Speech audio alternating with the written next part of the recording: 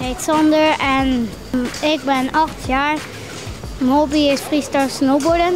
Ik ben Evie en ik ben 11 jaar en mijn hobby's zijn freestyle snowboarden. Hallo, ik ben Robbe en ik ben 11 jaar en mijn hobby is freestyle snowboarden. Dat zijn trucjes doen op je bord, zoals frontside 360. Dan moet je draaien met je lichaam en dan moet je uh, terug normaal landen. Hoe ben je op het idee gekomen om te beginnen snowboarden?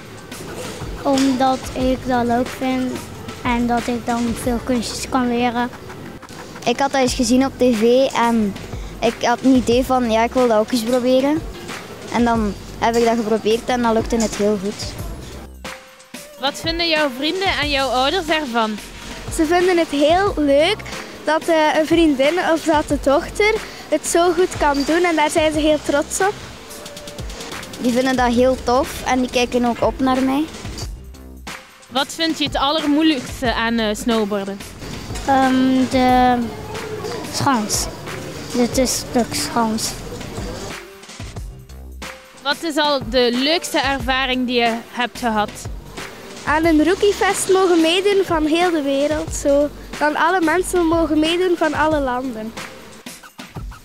Waarom zou je iedereen aanraden van ah, kom maar freestyle snowboarden? Omdat het heel leuk is en je kan heel veel bijleren. Wat wil je graag nog bereiken met het snowboarden? De schans en wereldkampioen. Dat ik van de dames um, wereldkampioen mocht worden.